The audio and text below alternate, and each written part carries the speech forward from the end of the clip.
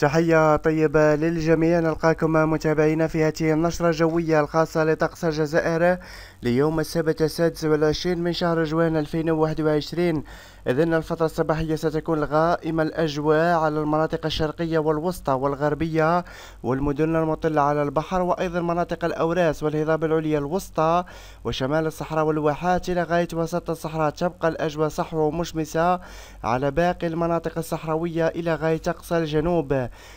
في الفترة المسائية تقريبا نفس الحالة تبقى الأجواء غائمة على المناطق الشرقية وأيضا الوسطى والهضاب العليا وأيضا شمال الصحراء والواحات مع تشكل لبعض الخلايا الرعدية على الأوراس والمناطق الساحلية الشرقية في الفترة المسائية.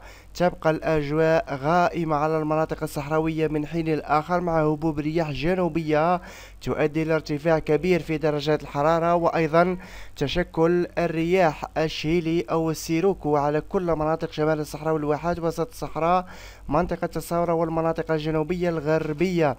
درجات الحرارة المتوقعة اليوم السبت. درجة الحرارة القصوى سنسجل ارتفاع كبير في درجة الحرارة تقارب 46 إلى 47 درجة على شمال الصحراء والواحات. المناطق الصحراوية أقصى الجنوب والمناطق الجنوبية الغربية سنسجل ما يقارب 48 درجة. في حين المناطق الداخلية الوسطى وأيضا الشرقية والغربية ما بين 38 إلى 41 درجة أما السواحل ما بين تقريبا 26 إلى 30 درجة خاصة على السواحل الشرقية. والمدن المطلة على البحر سنسجل ما يقارب 34 إلى 35 درجة.